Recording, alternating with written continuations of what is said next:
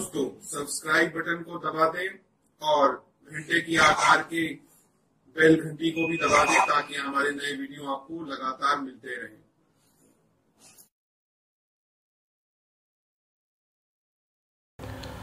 नमस्कार दोस्तों, धर्म रहस्य चैनल पर आपका एक बार फिर से स्वागत है। आज बात करेंगे दर्शकों के प्रश्न और उत्तर श्रृंखला में नए सवालों के बारे में।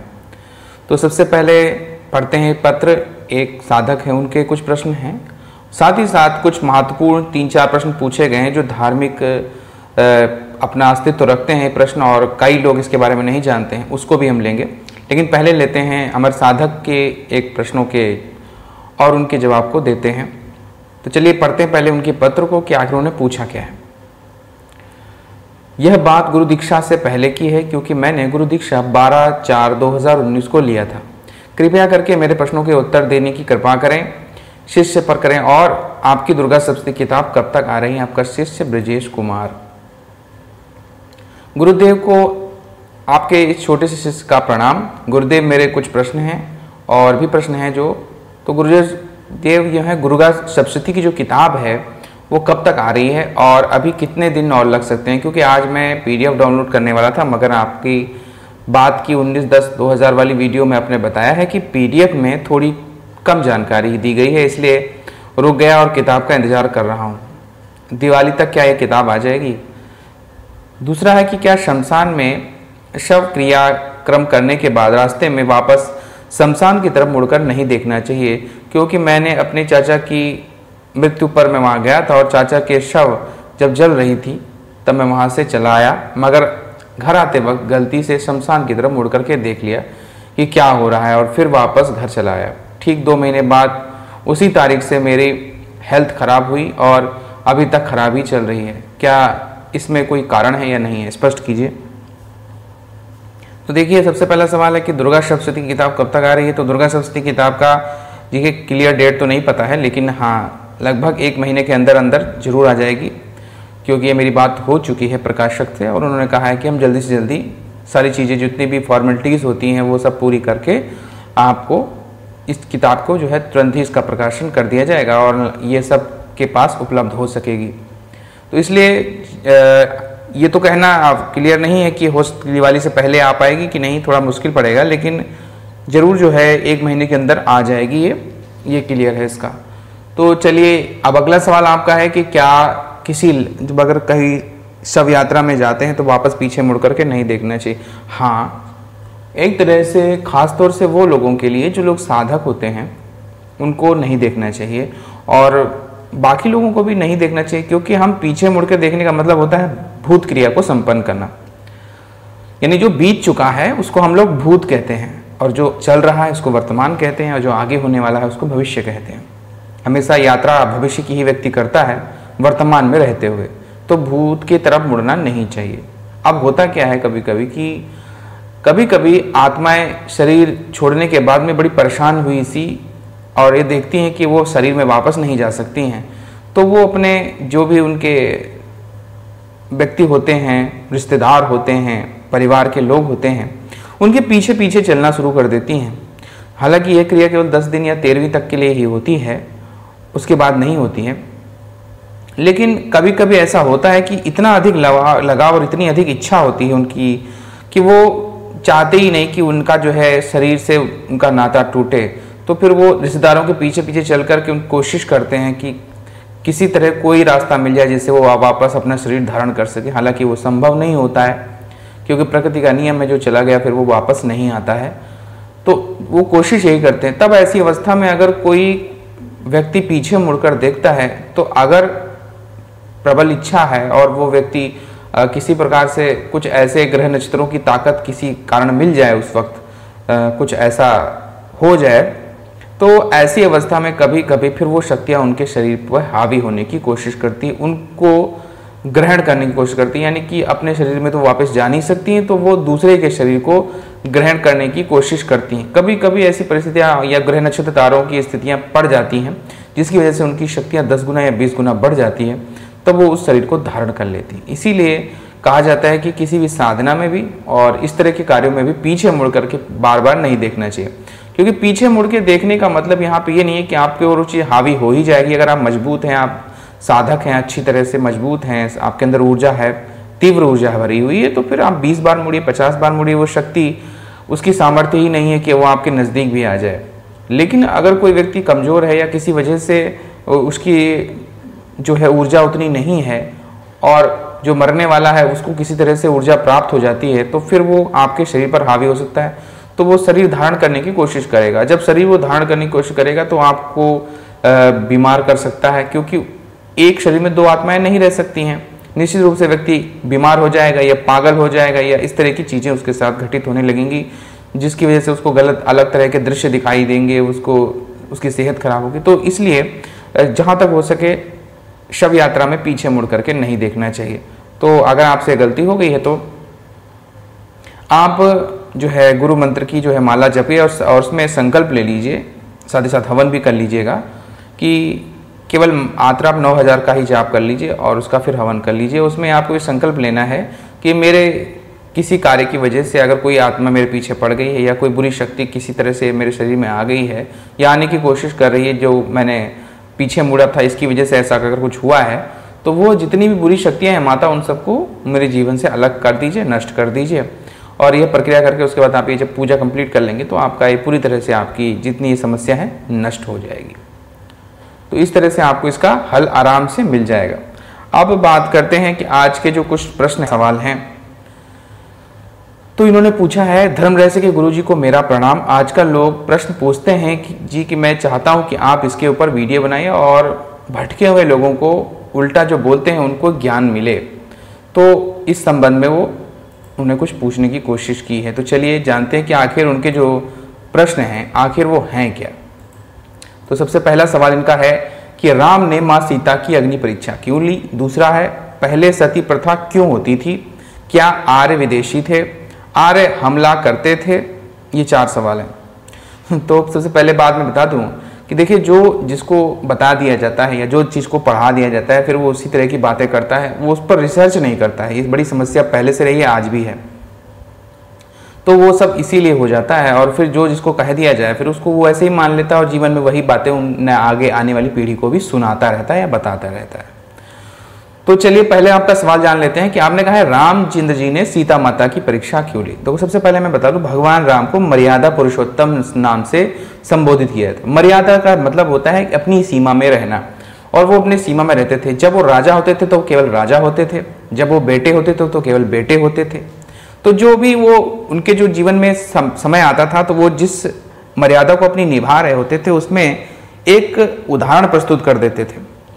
अब जब समय आया कि सब, क्योंकि लोग जो हैं, उन्होंने पूछा कि जब माता सीता रावण के पास रह के आई हैं तो क्या वो पवित्र रह गई हैं कि नहीं रह गई हैं? तो उस समय उन्होंने राजा की भूमिका निभाई। एक राजा की भूमिका ये कहती है कि वो प्रमाणित करके लोगों को बताएँ और दिखाएँ कि जो पत्नी वो स्वीकार कर रहे हैं, जो आपकी रानी होने वाली है, जो पूरे राज्य की माँ है, जैसे राजा होता है और पिता कहा जाता है, राज्य का उसी तरह जो स्त्री है वो माँ है तो उनको ये दिखाना पड़ा। अब चूँकि सभी लोग गोपनीय बातें नहीं जानते हैं तो ये नहीं समझ पाते हैं कि अगर भगवान राम, भगवान विष्णु के अवतार थे तो उनके लिए तो सब कुछ पहले से ही उन्हें मालूम था। माता सीता भी पहले ही कहते हैं, अलग कर दी गई थी और अग्नि सीता जो है वो भेज दी गई थी। इसीलिए अग्नि सीता से मूल सीता को अलग करना भी आवश्यक था। तो दोनों चीज़ों को करने के लिए वहाँ पर माँ सीता की परीक्षा लेकर के एक बहाना किया गया जिसमें उन्हें अग्नि पर बैठाया गया। और आप स्वयं सोचिए कि बात लोग ये पूछते हैं कि अग्नि परीक्षा क्यों ली गई? उनसे ये पूछिए कि अग्नि परीक्षा में सीता जी सफल कैसे हो गई? क्योंकि अगर वो दैवी नहीं होती, अगर वो शुद्ध नहीं होती तो आग में जिनको बैठाला जाए, जब होलिका बैठी थी तो वो भी भस्म हो गई थी। तो आखिर माता सीता उस आग में बैठ करके, चिता पर बैठ करके वो कैसे सफल हो गए उन्हें कुछ भी अग्नि छू नहीं पाई। तो सवाल वहीं पर नष्ट हो जाता है। तो ये तो लोगों की सोच है कि लोग चीज़ों को समझ नहीं पाते हैं। और चूँकि भगवान राम, मैंने कहा, उसमें मर्यादा पुरुषोत्तम थे, इसलिए उन्होंने उनकी बात सुनी। अगर वो उनकी बात नहीं सुनते तो ये सवाल हमेशा रहता। और ये सवाल हमेशा कायम रहता कि आखिर सीता तो रावण के पास गई थी तो क्या वो शुद्ध थी? और राम ने तो उसका प्रमाण भी नहीं लिया। इसलिए वो राजा का कर्तव्य मर्यादा पुरुषोत्तम बन के उन्होंने निभाया और सीता जी की परीक्षा उनको लेनी पड़ी थी। दूसरे सवाल आपका पूछा है कि पहले सती प्रथा क्यों होती थी? ऐसा मानते थे हमारे यहाँ कि सती के सतीत्व के कारण बहुत अधिक शक्ति प्राप्त हो जाती है। हालाँकि ये प्रथा अच्छी नहीं थी, लेकिन समाज में कोई चीज़ें जब चलने लग जाती हैं तो उनको जो है हर एक चीज़ को हम देवी देवताओं से जोड़ने लगते हैं।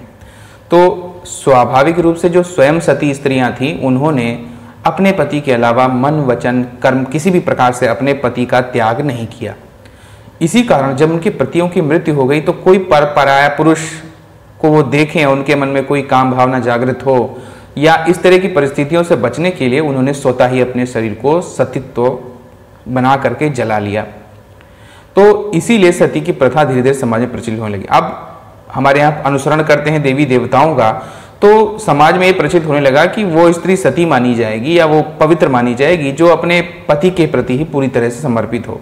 ऐसी अवस्था में शुरुआत में धीरे धीरे कर कई स्त्रियों ने स्वयं को खुद ही जला लिया और बाद में इस चीज़ को समाज में इतना अधिक प्रचलित कर दिया गया कि अगर कोई स्त्री सती नहीं भी होना चाहती थी तो वो उसको इतना दबाव बना देते थे उसके ऊपर कि फिर उसको सती होना पड़ता था। और हर व्यक्ति इतना शुद्ध नहीं हो सकता, स्वाभाविक सी बात है, कोई इतना मन से पवित्र नहीं हो सकता है। तो लोग ज़बरदस्ती उसे पवित्र बनाने के चक्कर में उसको सती प्रथा के पीछे ढकेल देते थे और इसी वजह से वो स्त्रियाँ जल जाती थी। और इसका बहुत सारा वर्णन हमको देखने को मिलता है। स्वयं अपनी इच्छा से सती होना अलग बात है और किसी को ज़बरदस्ती सती करवा देना समाज ने इस तरह से चीज़ों को बना लिया, क्योंकि हम देवी देवताओं का लगभग अनुसरण करते हैं और वैसे ही बनना चाहते हैं। तो ये एक बुरी प्रथा थी और धीरे धीरे करके बाद में इसको जो है लॉर्ड विलियम बेंटिंग और बहुत से अंग्रेज़ी उन्होंने उससे पहले बहुत अकबर के समय में अकबर ने भी और उससे पहले भी कई जो है राजा महाराजा हुए, उन्होंने इन सब चीज़ों को बंद कराने की कोशिश की और कोशिश की कि इस तरह की चीज़ें ना घटित हों। बल्कि वो जो स्त्री है, वो पूरी तरह से किसी स्वस्थ वातावरण में जाकर के पूजा या तपस्या करें। तो ऐसे उदाहरण में मिलते हैं कि वो स्त्रियाँ पूजा या तपस्या करती थी। लेकिन समय ऐसा था कि स्त्री हमेशा अबला मानी गई है। ऐसी अवस्था में जब स्त्रियाँ खुले में रहेंगी तो कोई भी पुरुष आकर के उन, उनके साथ बुरा कुछ कर्म कर सकता है और वो अपनी रक्षा नहीं कर पाएँगे। इसलिए यही सब ज़्यादातर समाज में प्रचलित हो गया कि सती बनना ही ज़्यादा उसके लिए उपयुक्त है कि उसका पति जब चला गया तो अगर उसके पास पुत्र नहीं है तो वो उसे सती ही हो जाना चाहिए। अब तीसरा प्रश्न आपने पूछा, क्या आर्य विदेशी थे? तो देखिए, आर्य विदेशी मानना ये मेरे हिसाब से सही नहीं है, क्योंकि कारण ये है कि बाउंड्रियाँ तो हमने विकसित की हैं। हर एक चीज़ की जो बाउंड्री है कि कोई देश यहाँ तक ही है, कोई देश वहीं तक है, ऐसा अब हिमालय के इस पार अगर हम कहें भारत है और हिमालय के उस पार भारत नहीं हो सकता तो ये तो अपनी अपनी सोच की बात है। हमारी जो बाउंड्रीज हैं, ये तो लोगों ने बनाई हैं और कहीं से कोई इधर से उधर चला जाए, उधर से इधर चला जाए, या पूरी धरती जो है हमारी एक थी और हमारा सनातन धर्म पूरी धरती पर फैला हुआ था तो हम कैसे कह सकते हैं कि आर्य विदेशी थे? पहली बात तो यही है। दूसरी बात यह है कि हाँ वो ठंडे प्रदेशों में रहते थे, इस वजह से वो जब मैदानी क्षेत्रों में आते थे तो उनके भ्रमण को हम मान सकते हैं कि उनका भ्रमण कार्य था, वहाँ से यहाँ आना यहाँ से फिर हिमालय की तरफ़ या और ऊपर के जितने देश हैं, उनकी तरफ़ गमन करना। धरती पूरी की पूरी अपनी ही थी और इसकी कोई बाउंड्रीज नहीं थी। तो पूरा जो हमारा पूरा खंड है, जिसे भारत खंड बोला जाता है। तो वो सारा का सारा बाउंड्री के नियंत्रण में नहीं था, कोई बाउंड्रीज नहीं थी। बाउंड्रीज आज की दिन है। आज जब छोटे छोटे देश बनते जा रहे हैं तो नई नई बाउंड्रियाँ पैदा हो रही नए नए देशों का इलाके बन रहे हैं। तो वो कहते हैं कि ये हमारा इलाका है, हमारी चीज़ है। तो हमारा से मतलब यहाँ पे कुछ था ही नहीं। हम तो पूरी धरती के थे। तो फिर कैसे कोई कह सकता है कि आर्य विदेशी थे? विदेशी कभी कोई था ही नहीं। और कोई कहे कि, कि जो व्यक्ति यहाँ सिर्फ़ पैदा हुआ या भारत में ही सिर्फ़ पैदा हुआ वही जो है यहाँ का मूल निवासी है। ऐसा भी नहीं कह सकते हैं। कारण ये है कि क्या भगवान ने सिर्फ़ धरती चुनने के लिए केवल भारत की जगह को ही जो है नक्शा बना करके भेजा था? ऐसा तो नहीं है। उन्होंने जब इंसान को पैदा किया होगा तो पृथ्वी पर पैदा किया होगा ना कि भारत पर पैदा किया हुआ था।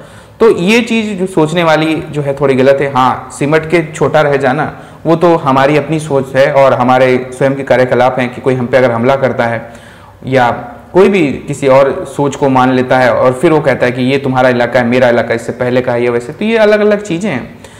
देखिए पूजाएँ सारी जगह हो रही थी। ईश्वर एक, ईश्वर की पूजा हर जगह पूरे संसार भर में हो रही थी तो हम अलग अलग कैसे हो सकते हैं? सिर्फ़ रहने की वजह से हम अपनी अपनी बाउंड्रीज बना लिए बाद में और अपने अपने देश बना लिए आज। तो बाउंड्री आज पैदा हो गई, वैसे हमारी धरती पूरी की पूरी है। और आज का नहीं, ये वसुदेव कुटुंबकम की जो बात है, वो हमारे वैदिक ग्रंथों में लिखी हुई है। तो वसुदेव कुटुंबकम मतलब ही होता है कि पूरी धरती ही हमारी अपनी है। जब तो जब हमारी पूरी धरती है तो फिर आर्य विदेशी कैसे हो सकते हैं? दूसरी बात है, अब आखिरी सवाल आपका था कि आर्य हमला करते थे तो मतलब हमला करते थे तो हमला तो देखिए, गोधन के लिए सबसे ज़्यादा लड़ाई होती थी। आर्यों के बीच में कहा जाता था कि गोधन यानी गायों को लेकर के सबसे ज़्यादा लड़ाई होती थी। हमला करने से मतलब यहाँ पे ये नहीं है कि कोई विदेशी के ऊपर हमला कर रहा है या, या गोरे व्यक्ति। देखिए जो ठंडी जगह पे रहेगा और रहेगा वो व्यक्ति गोरा हो जाएगा। और जो गर्म जगह यानी जहाँ धूप ज़्यादा तेज होती है वहाँ पर अगर पीढ़ी दर पीढ़ी रहेगा तो वो व्यक्ति वहाँ पे काला हो जाएगा। अगर आर्य अगर सौ फ़ीसदी आर्य भी अगर हमारे देश में आए हैं अगर ऐसा भी माना जाए तो भी आर्य आज काले कैसे हो गए? उन्हें तो उतना ही गोरा होना चाहिए था जितने विदेशी लोग गोरे होते हैं। पर वो नहीं है उतने क्योंकि हमारे ऊपर धूप पड़ रही है। तो जहाँ पर भी अब अफ्रीका में कोई रहने लगे, कोई विदेशी व्यक्ति भी हो, कितना भी गोरा हो, अगर वो चार पीढ़ी, पाँच पीढ़ी, दस पीढ़ी अगर वहाँ पर रहता है तो वो काला पड़ जाएगा, क्योंकि अफ्रीका में पूरी धूप पड़ती है। तो रंग का कोई मतलब नहीं। अब रही बात अपने अपने कबीलों की। अगर किसी ने अपना कबीला बनाया हुआ है तो वो चाहेगा कि दूसरा कबीला, या दूसरा कबीला वाला चाहेगा कि उसकी धन संपदा या रुपए पैसे हमको मिल जाए।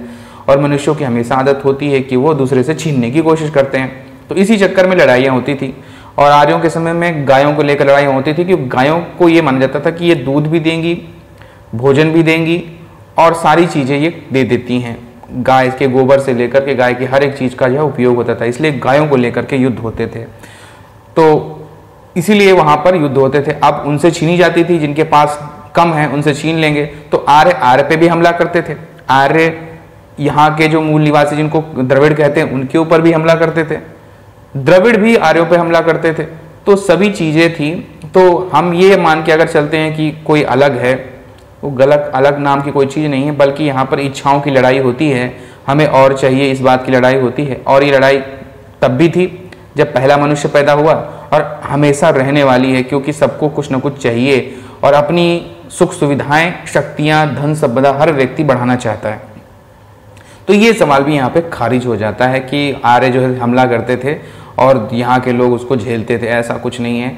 और यहाँ के लोगों का जैसा कोई शब्द ही नहीं है मेरे हिसाब से है, क्योंकि जो जहाँ रहने लगता है वो वैसा ही बन जाता है और उसी तरह के रूप रंग को धारण कर लेता है। अब हमारे ही देश में राजस्थान में भी रहने वाले व्यक्ति हैं, वो अलग तरह से थोड़ा सा उनका शरीर, रूप, रंग और ढंग होता है। वैसे ही हम दक्षिण भारत ज़िले उनका अलग ढंग होगा, हिमालय में रहने वालों का थोड़ा सा अलग ढंग होगा, असम की साइड में रहने वालों का थोड़ा सा अलग तरीके का रूप स्वरूप होता है। उनके चेहरे की बनावट थोड़ी सी अलग होगी। तो यानी कि हर एक अलग अलग थोड़ा सा है, क्योंकि जैसी परिस्थिति में वो रह रहा है, वैसे ही बन जाता है। तो यहाँ पर कोई अलग नहीं है। अलग मानना, सोचना एक ऐसी गलत सोच है जिसका कोई आधार नहीं है। हम सभी एक हैं और ईश्वर की सबके सब संतान हैं। हमें यही सोचना चाहिए। आध्यात्म की ओर भी बढ़े। यही सबका प्रयास होना चाहिए। तो ये थे आपका दिन। मंगलमय हो। धन्यवाद।